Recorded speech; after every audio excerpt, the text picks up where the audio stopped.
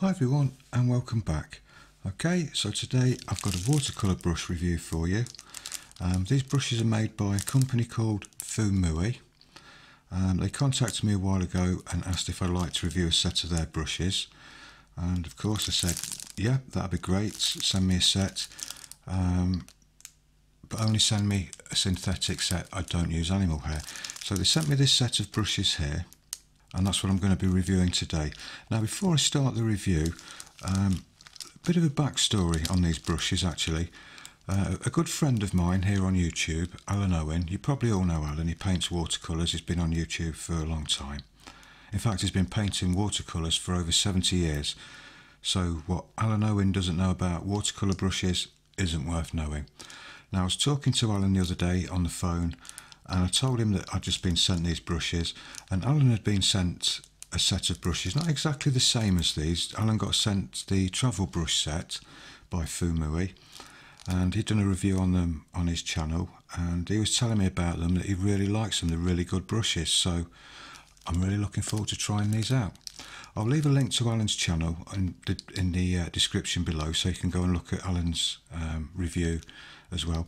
You'll often see Alan painting with them just in his watercolour demos. He, he kind of uses them quite a lot, so you know they must be good brushes.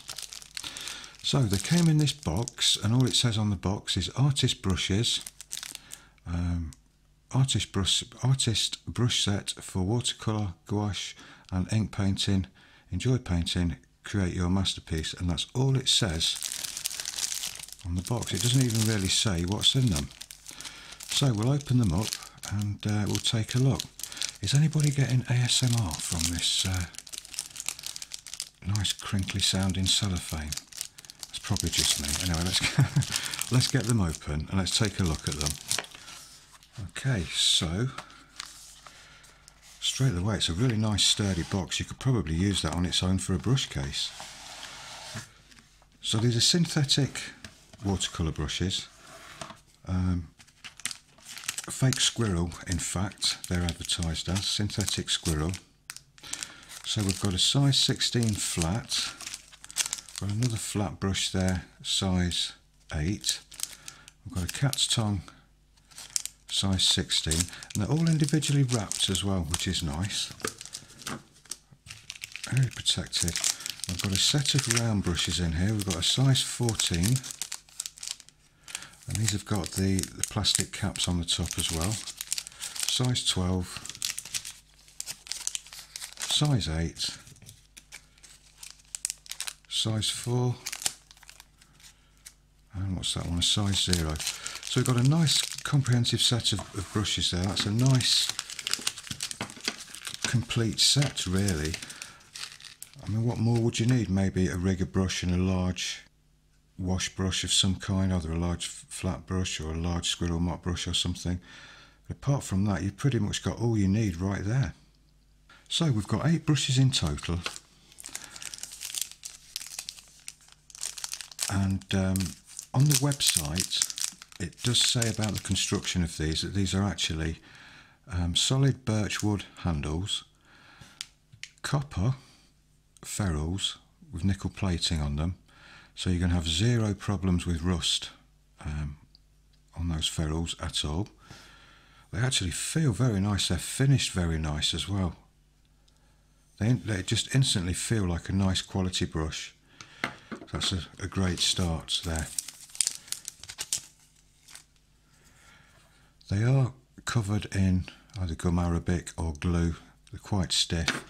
So I'm going to need to um, soak all of these I can actually use them. That's quite a funny shape there. Maybe when that's soaked um, and it forms its natural shape, that should be okay, hopefully. Okay, so what I'll do, I'll take the cellophane off all of these. and take the protective caps off as well. And I'll soak them in some water for a little while and get them nice and soft and then come back and have a good proper look at them. Okay, so I've just soaked them just for a few seconds and the glue comes off really easily. You don't have to soak them for hours or anything. Um, yeah, nice and clean. One thing I did notice, I've kind of gone over them very thoroughly checked each brush for any faults or any flaws or anything like that. And one thing I did notice, um, the cat's tongue, when it's actually got all of that glue or gum arabic out of it, it, it actually forms a very funny shape. If I just dip this in some water, okay, that's loaded with water. It's kind of a cat's tongue with a very flat tip to it. I can point it up a little bit, but it won't kind of stay like that. Most of the cat's tongues that I've used have gone to a fine point, so maybe maybe that's intentionally like that. Um, I don't know, but it, it does look a funny shape. But we'll test it, we'll see what kind of brush strokes we can get from it. Um, I'm sure it'll be fine. Now all of the other brushes look great. There's a nice kind of sharp chisel edge on those flat brushes. The round brushes seem to point up nicely, have a reasonably nice point on them. There's no sort of hook tip on them or anything like that. I mean, that usually occurs after time anyway, but there's nothing on them so far. Really nice point, in fact. And uh, the finish is flawless. They look really nice, actually. They, they feel really, you know, real quality, really nice brushes. They don't feel cheap at all. So, we'll run a few tests on them. Um, when Fuumuui sent me the email saying that they were sending the brushes to me, um, they asked if I could test for water content, softness, if there's any shedding of the hairs, and could I compare them with other brushes that I've used in the past. So we'll test for all of those things. Okay, so first up we'll test the cat's tongue brush. Now I haven't used one of these for years. The last one I had fell to bits on me and I never bothered replacing it. I can't even remember what make it was. It wasn't a very expensive one. Um, so this is the, the second cat brush, uh, cat's tongue brush that I've ever owned in my life. So I'm not really used to using these, but we'll see uh, just what kind of marks we make with it. I've just got some Payne's Grey on there and I just want to test to see if we actually get an imprint. I think we're going to. Um, if we actually get an imprint of the, the top of the brush there. Yeah, it does leave that kind of flat edge. If we use the brush on the side, that's fine. It's actually got quite a nice spring to it, this brush, even though it's very soft, holds a lot of water. You can see, look, as I'm pressing down, if I really press down on the base of the feather of that, that brush and really flatten it out, you can see that it kind of springs back to shape really well. That's one of the benefits, actually, um, of synthetic squirrel hair. You know, it's got more spring and snap to it, but it's still nice and soft, holds a lot of water.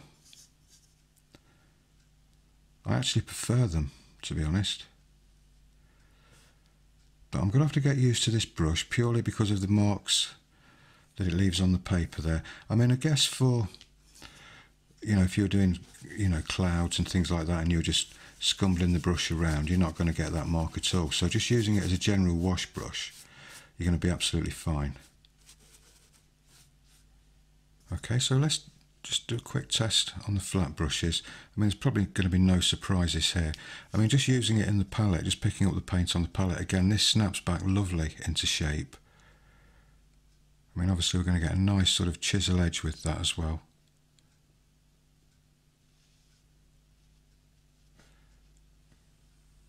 Nice clean brush stroke there.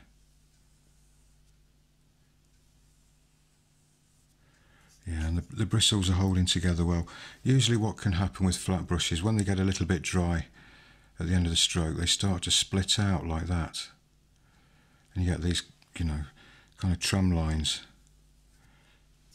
you know, in your brush stroke, but this isn't doing that at all. It's kind of staying together really well. I'm using quite a rough paper here actually, so I'm going to get sort of a dry brush technique with them. So that was the size 8 flat brush. Just do a quick test with the size 16. Again, I don't think there's going to be any surprises here. I think it's going to perform just the same.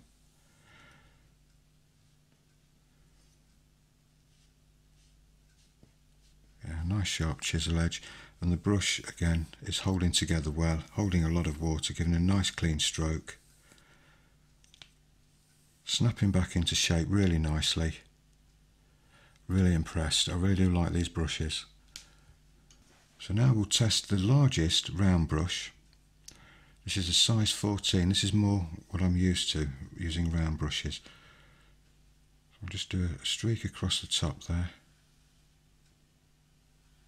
Yeah, nice smooth brush stroke. It's snapping back well into shape, but if I just press down again on the ferrule, lift up, it's snapping back okay, but it is leaving a flat spot there, but that's absolutely fine. I mean, if that was real squirrel hair that I just done that with, that brush should be like that now. But you can see it's kind of snapping back and retaining its shape really quite well as being nice and soft, and it is lovely and soft actually. It does feel like a squirrel brush, it's really nice. So just, you know, doodling and messing around with this, I can instantly see that these brushes are going to work superbly. Okay, I'll try the one of the smaller round brushes now. This is a size 4, running out of paper here. Yeah, you can get a nice point. I should have tested the point on the other one, shouldn't I really? I'll, I'll do that in just a minute. This is a nice fine detail brush. If I just get the size 14 again, um, is that dry? Just looking for a bit of there. We'll, we'll try it there. We'll just try the point with a size 14 brush. Not quite so good. It's a little bit thicker. That's okay.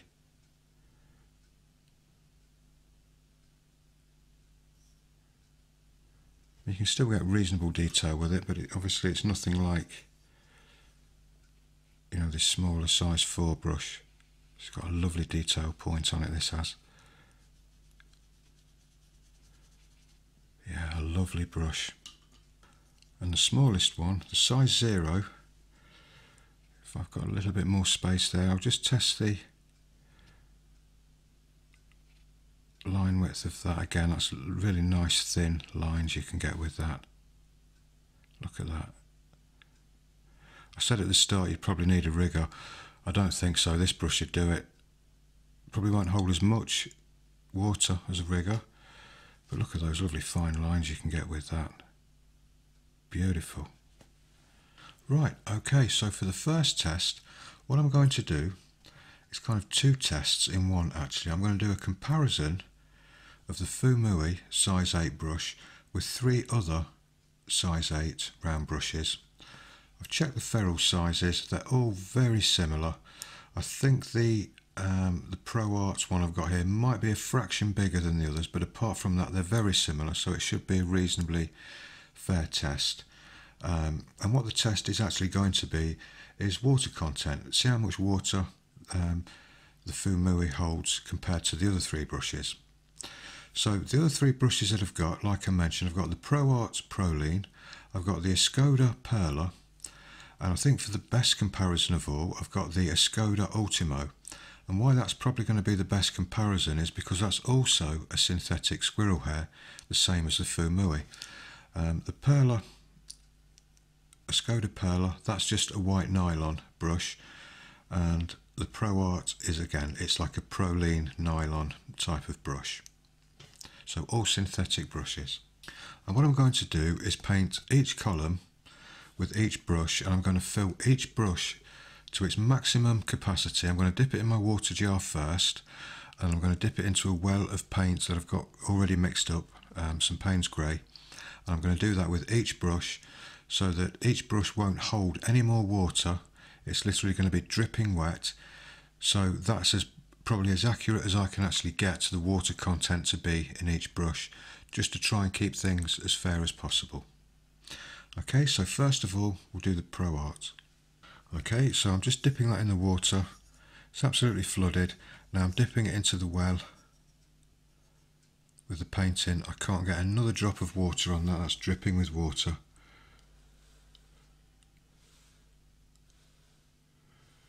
So we'll see how far down this column we can actually get before the brush actually runs dry.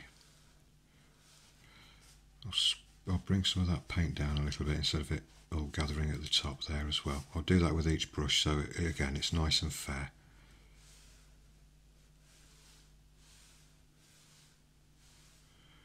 So it's going quite well but it's just starting to feel a little bit dry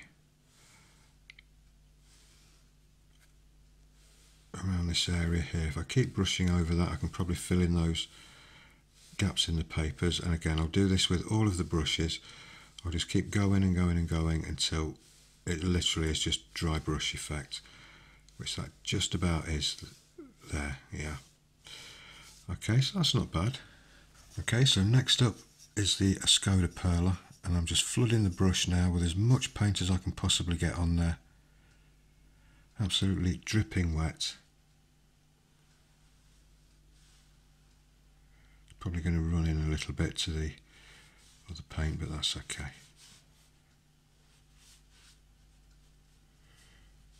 Like I said, I'm going to try and bring that paint down to keep it fairly even if I can. And I must admit already this is starting to feel a little bit on the dry side.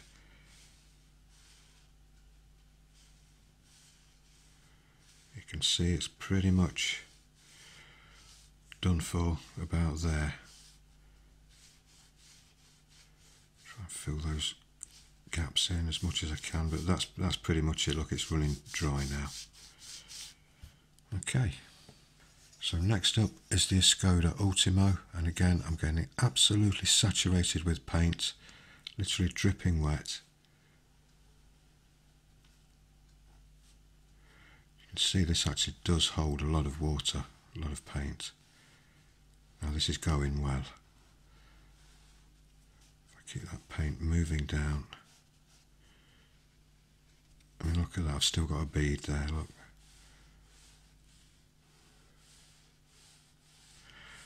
And remember as well that this is actually synthetic squirrel hair as well. I think we'll probably get all the column filled in with this. And then some. Yeah, we will. We can go over.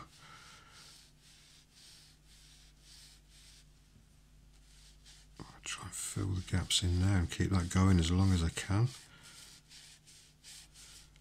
That's pretty much it about there. It's kind of running dry now.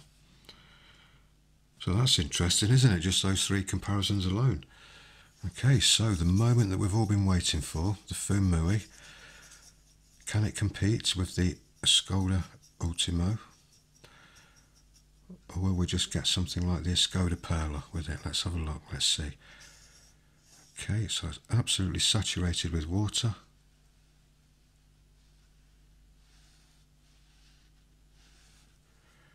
Again, I'll keep dragging that water down.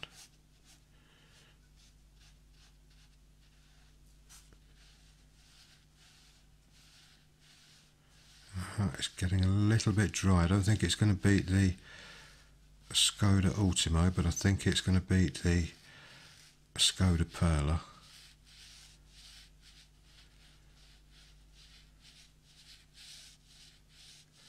Yeah, we're about we're about out of there. Look, I'll probably try and fill those gaps a little bit more, but no,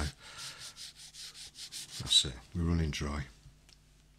So it's a, a fair comparison with the Pro Art and the Fuumuui. They're pretty much the same.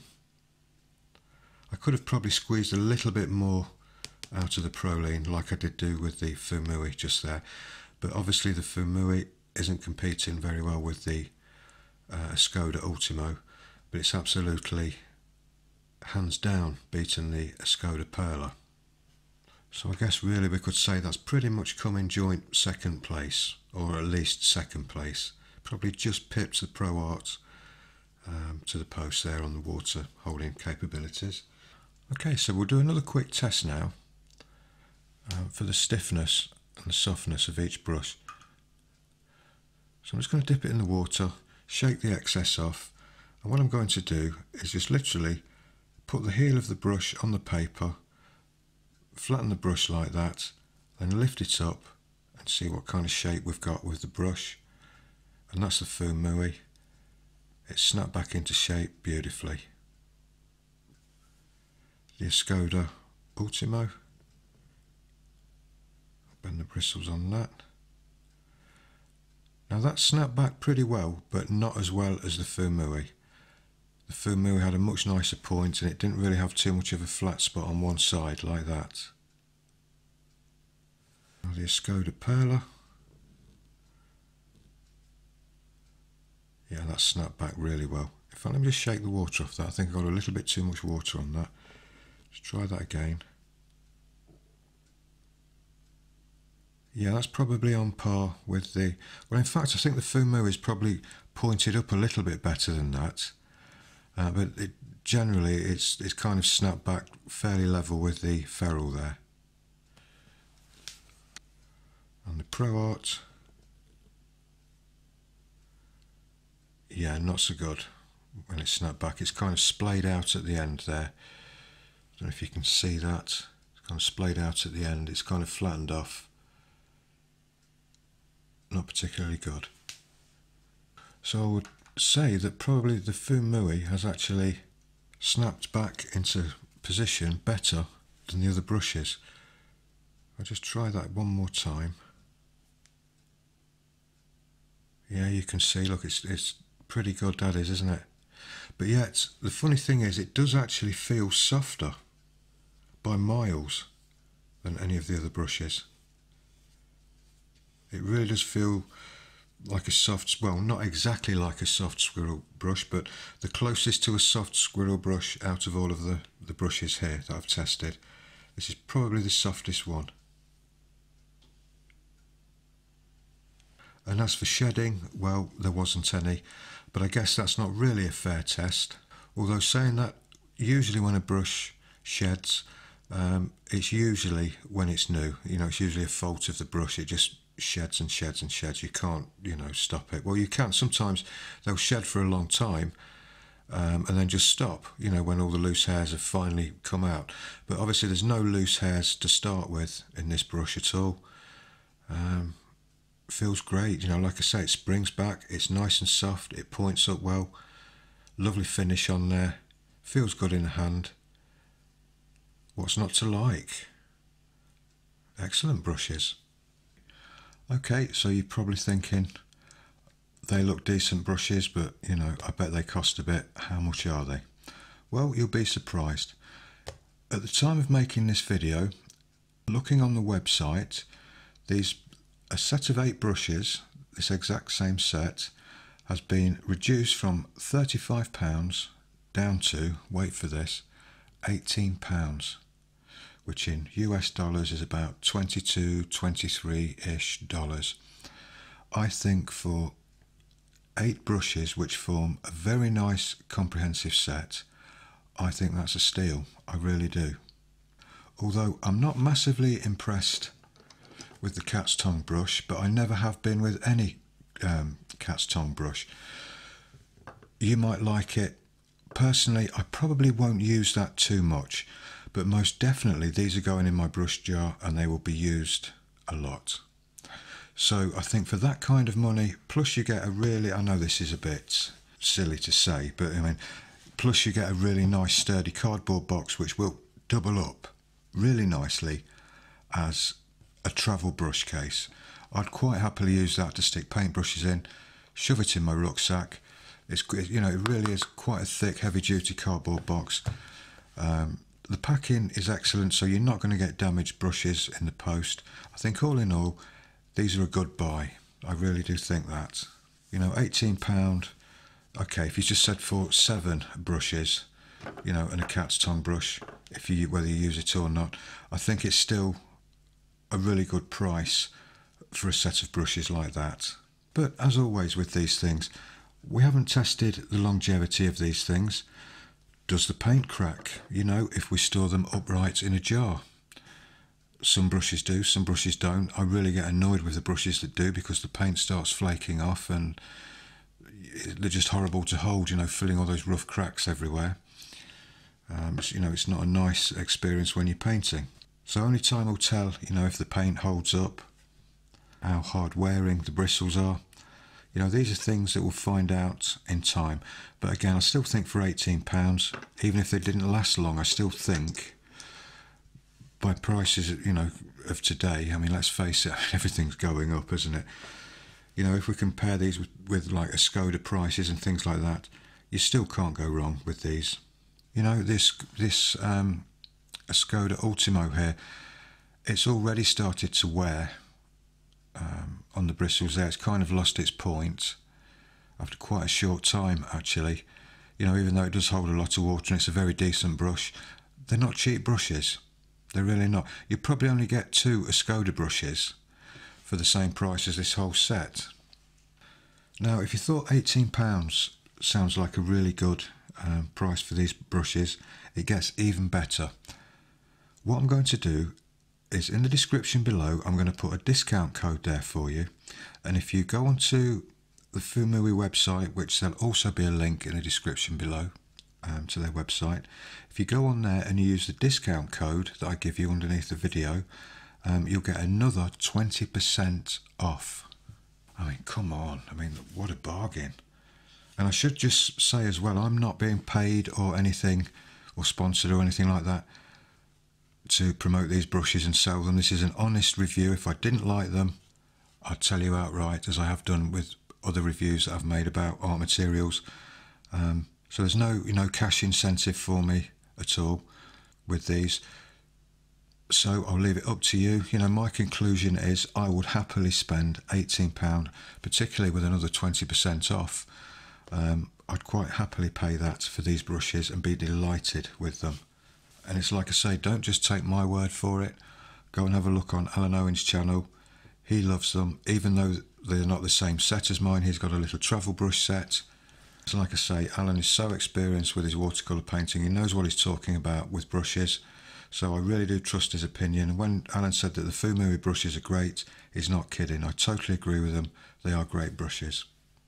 Now you're probably thinking, why haven't I actually done a full-on painting demonstration with them? I usually do with all of my reviews.